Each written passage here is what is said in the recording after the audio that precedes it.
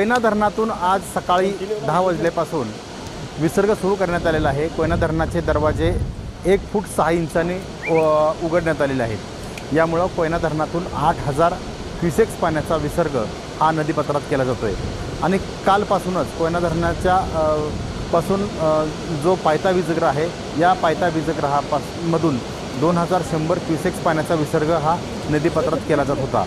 यामुळं सध्या कोयना न धरणातून दहा हजार शंभर क्युसेक्स पाण्याचा विसर्ग हा कोयना नदीपात्रात केला जातो आहे खरं तर कोयना धरणाची पाणी पातळी आज सकाळी पा पर्यंत जवळजवळ अठ्ठ्याऐंशी पॉईंट बारा टी एम सी इतकी पाणीसाठा होता.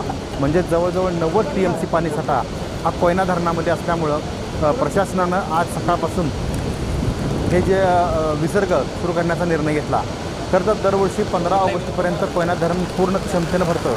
मात्र यावर्षी सुरुवातीच्याच काळामध्ये म्हणजेच जून जुलैमध्ये अत्यंत कमी पाऊस पडल्यामुळं कोयना धरणामध्ये सुद्धा कमी पाणी साठा होता.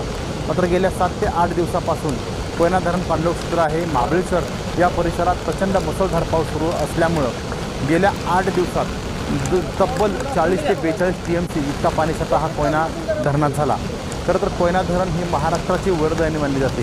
वीज प्रकल्प असेल किंवा सातारा सांगली आणि सोलापूर या तीन जिल्ह्यासाठी पिण्यासाठी आणि शेतीसाठी खूप मोठ्या प्रमाणात या कोयना धरणाचं पाणी वापरलं जातं. आणि यामुळं कोयना धरण कधी भरणार याकडे सर्वांचं लक्ष लागून राहिलं होतं.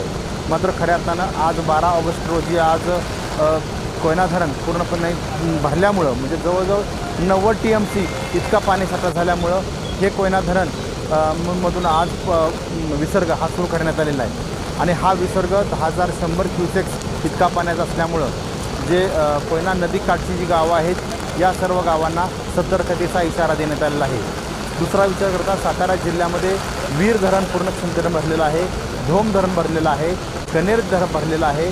अशा प्रकारे सर्व जी धरणं आहेत ते पूर्ण क्षमतेनं भरल्यामुळं या ठिकाणाहून सुद्धा विसर्ग वाढवण्यात आलेला आहे. यामुळं कृष्णा नदीमध्ये सुद्धा पाणी पातळी वाढ झालेली दिसते आणि आता कोयना नदी यामुळं जी नदीकाठची गावं आहेत विशेषतः कराडपासून सांगलीपर्यंतची जी गावं आहेत या नदीकाठच्या गावांना सतर्कतेचा इशारा देण्यात आलेला आहे.